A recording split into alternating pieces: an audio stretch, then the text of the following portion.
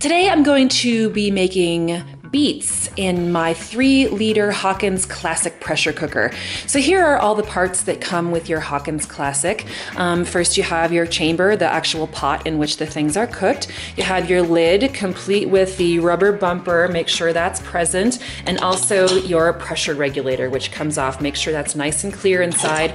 Also make sure that the steam vent, which is that little nut right there, is nice and clear. It has seven holes on the side. You wanna make sure that those are free flowing before you start cooking so that your pot can vent steam properly. This is the little um, food stand that comes inside the Hawk comes with the Hawkins. It's a little short, as you can see, and I like to use the steam to cook my food. Um, beets, which are really, you know, uh, tough to cook on the stove top, they can take up to an hour of boiling forever. Um, only take 12 to 15 minutes in the pressure cooker, so they're great. But I like to keep them out of the cooking liquid, and so instead of using the one that comes with the Hawkins, I just use one of those regular steamer baskets. You, you can get this at the dollar store. Into the pressure cooker, I'm going to add one and a half cups of water. You want to add one cup of water for every 10 minutes that you're going to be pressure cooking, and then an additional half cup of water for every additional 10 minutes. So because beets take between 12 to 15 minutes, I'm just going to go ahead and put one and a half cups of water inside of my pot, and I'm just going to pop my steamer basket right inside. There you go. And then I've rinsed my beets. I've uh, chopped off most of the hairy stuff and the and the stalks. And so I'm just going to arrange them inside nice and loosely. Four is a good number for this size of cooker. Um, after that, you have to get the lid on. Now you'll notice on the Hawkins cookers that this is not a perfect circle. Notice how it's thinner here, gets thicker, and then thinner again. And so it's an oval. And in order to get the lid in, you have to sort of do a little thing where you pop it in and then twist it. You see that? All right, now I've twisted it the wrong way. You have to twist it this way so that you can then latch your pot and you'll see the edge right here and that just pops right on. And now you're good to go. Okay, so it's been about five minutes. Again, I have my pressure cooker all loaded up on a medium high to high temperature, and um, steam has started to come out of the little vent. So there's definitely pressure building up, and you can hear that whistle that starts to happen. That means that the pressure is getting pretty high inside. But what we're waiting for is for the pot to indicate that it is at full pressure.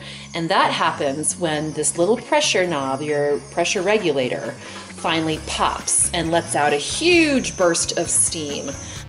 Then you will start to time your recipe. So we'll just wait for that to happen.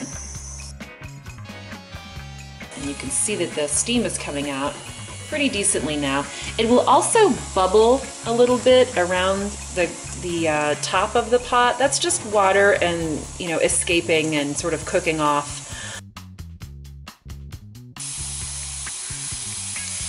All right, here we go. okay, that was it. That's the indication that your pot has reached full pressure. So now what I'm gonna do is turn my temperature down just a bit. So I'm gonna turn mine down to about a six. It was at an eight. For me, that's medium high to just a little bit above medium. And I'm gonna start timing my recipes. You should still hear steam and hissing coming out of your cooker. If that goes away, that means that your pot, you turned the, the temperature down too much if the pressure regulator blows again, if it pops its top and you get that big steam blowing out, that means that you still have your temperature up too high and you need to turn it down a little bit more. So we're at cooking temperature now, and I'm just gonna let it roll for 12 to 15 minutes. So my timer went off and I've moved my pressure cooker onto a cool burner. Um, what we're going to do is release the pressure inside of the pot. And in order to do that, you definitely need to use a long handled utensil of some sort. I'm just going to use uh, a butter knife here because there's still a whole lot of pressure inside the pot. So I'm gonna pop my knife into the little loop on top of the pressure regulator up. So, all of that steam was in, trapped inside the pot that was cooking our beets is now released.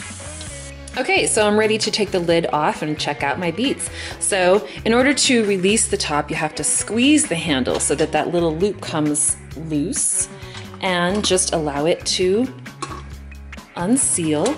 Again, you will get a little bit of steam coming out. Your food is still very hot in there. You have to do that same thing where you turn the lid to get it out. So you have to turn the handle 90 degrees and just pull it out. And look at that. Look at those beautiful beets in there. And we're gonna check it with a knife to make sure that they're nice and soft and it goes right in. Beautiful. This would have taken me an hour of boiling on the stove. You still get that great cooking liquid down in the bottom of the pot if you like to reserve that and use it for recipes or other things. Um, thanks for watching. I hope this helps you use that pressure cooker. It's a really valuable tool in the kitchen. Thanks a lot.